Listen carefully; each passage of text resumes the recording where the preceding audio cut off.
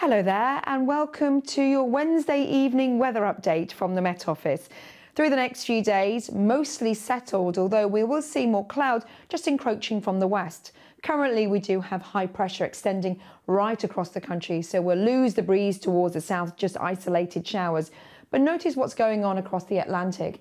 Here's an area of low pressure which will bump into the high towards the east there bringing with it a stronger wind into the weekend, more cloud and some showery bursts of rain. It is a slow process, and many areas through the first part of the weekend should see some fine weather before more cloud and the chance of some showers, if not some rain. Let's come back to Wednesday evening. Still some showers moving in across the southeast on a keen breeze. This wind is slowly easing. Elsewhere, clearer skies, starry skies. It's going to turn cold. Even some mist and fog patches can't be ruled out across Scotland, the far north of England. And a touch of frost also across the glens of Scotland, even with a grass frost further south. Even so, for most, it's a, a, fairly dry and fine end to the night, albeit rather chilly if you're stepping out first thing on Thursday morning.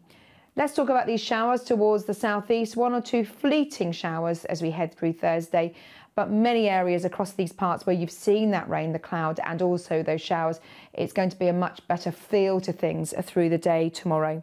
Elsewhere, some hazy sunshine across Scotland, a similar situation for Northern Ireland, and blue sky, a mix of cloud and sun elsewhere across England and Wales. Winds remain fairly light, but they could pick up a little bit across the Western Isles as well as Northern Ireland later as the cloud slowly rolls in across these parts. Elsewhere, some sunshine to end the day as temperatures arrive around 15 or 16 degrees Celsius. Now, through Thursday evening and overnight, for most yet again, we'll see clear skies. And with a light wind inland, yes, the chance of some mist and fog patches forming. But towards the west, this cloud and rain is getting a little bit closer into Friday morning. Notice thickening cloud across western Scotland, so a milder night here and more cloud also just moving across Northern Ireland with a little showery rain across the west of the province as well as the Western Isles into Friday. Elsewhere, it's a bit of a chilly start to the day yet again. Some clear skies and some patchy mist and fog, and dry across eastern Scotland through the morning into the afternoon. As this rain skirts the west of Scotland, the far north, although Shetland will be dry until much later, but some showery bursts of rain across Northern Ireland and lurking across the Irish Sea. Temperatures then typically 16, 17 degrees Celsius. Your outlook then through Saturday.